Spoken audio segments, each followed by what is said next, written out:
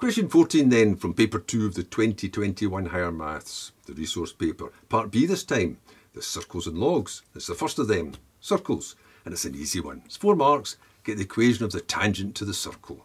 What's the equation to the tangent of this circle? There it's, there's its equation. At the point, the tangent of the point is 3, 5. Well, it's just a line. To get the equation of a line, you need a point on it. Well, I've got that, and it's gradient.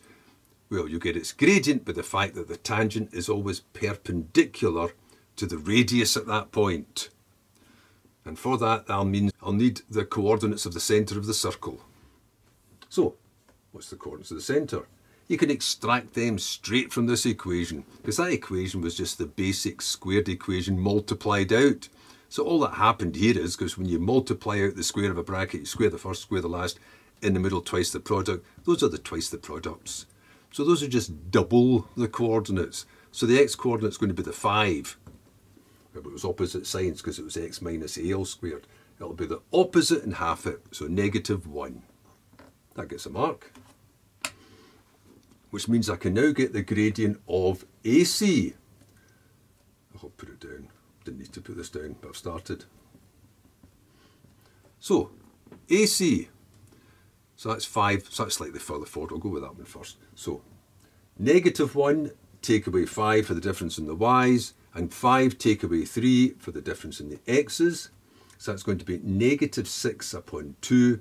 So that means the gradient of AC, which is the gradient of the radius, that particular radius is negative 3. That gets a mark. Now, you've got this tangent. So you could say this, you could just go straight in with it because I'll say this.